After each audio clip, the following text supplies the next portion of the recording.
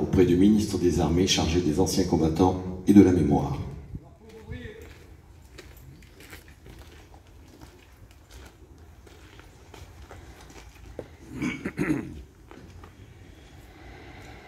Les femmes et les hommes que nous honorons aujourd'hui ont pris tous les risques, bravé la plus barbare des répressions, accepté la mort pour incarner les valeurs de la France quand elle avait un genou à terre et ainsi sauver l'honneur de la France et l'avenir de notre nation.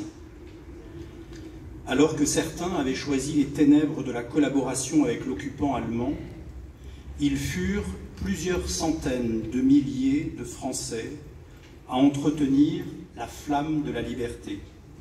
Ils furent plusieurs dizaines de milliers à mourir pour la France sous la torture, au combat, fusillés, décapités, déportés.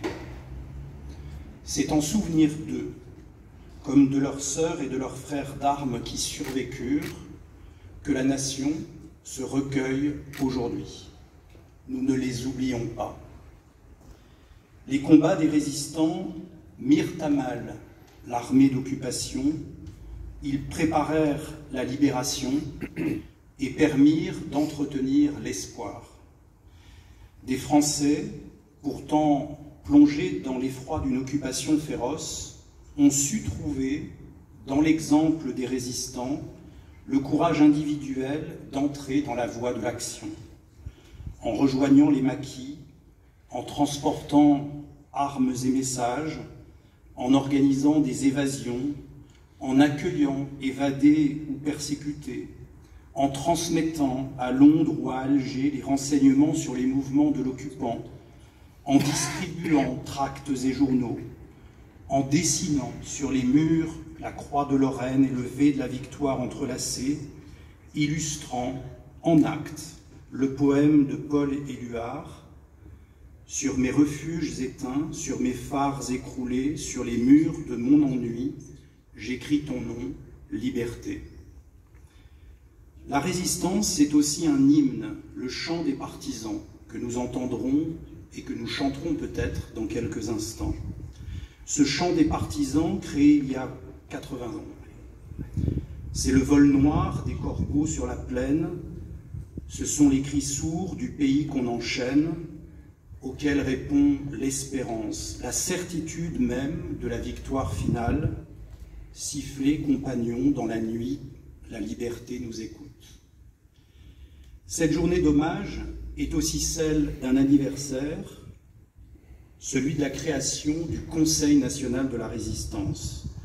Le 27 mai 1943, 17 résistants se rassemblaient clandestinement à Paris, rue du Four, pour transcender leurs différences et unifier les organisations combattantes, politiques et syndicales.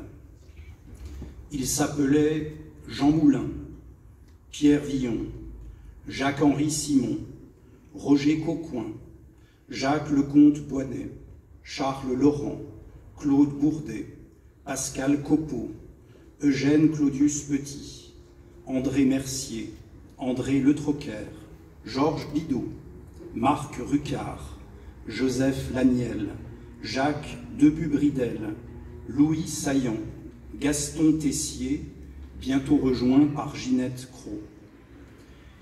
S'unissaient ainsi, à travers leurs représentants, les grands mouvements résistants des zones nord et sud, les principaux partis politiques opposés à l'occupant et à Vichy, le Parti communiste, la SFIO, le Parti radical, le Parti démocrate populaire, l'Alliance démocratique et la Fédération républicaine, et puis les syndicats, la CGT et la CFTC.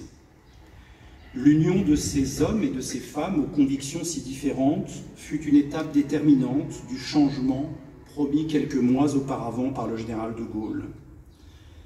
En ce 80e anniversaire de la création du Conseil national de la résistance, ils seront aujourd'hui tous réunis dans un même hommage par le fleurissement simultané de leur sépulture. À Paris, dans les Hauts-de-Seine, en Seine-Saint-Denis, en Côte d'Or, dans la Loire, l'Eure, la Drôme, le Calvados, les Yvelines, la Sarthe, dans le Val-de-Marne, dans tous les départements où ils sont inhumés, des gerbes sont déposées en ce moment, en ce moment même sur leur tombe, et pour deux d'entre eux, que la barbarie nazie laissa sans même une sépulture, c'est au pied d'une plaque en leur hommage qu'ils seront honorés. Partout où ils reposent, ou bien vivent encore, partout dans notre pays, souvenons-nous du combat déterminé et héroïque de ces résistants pour sauver la France, pour faire vivre sa devise liberté, égalité, fraternité. Souvenons-nous du pacte social et républicain qu'ils construisirent du plus profond de l'oppression et qui continue aujourd'hui d'assurer la cohésion de notre nation. Vive la République et vive la France.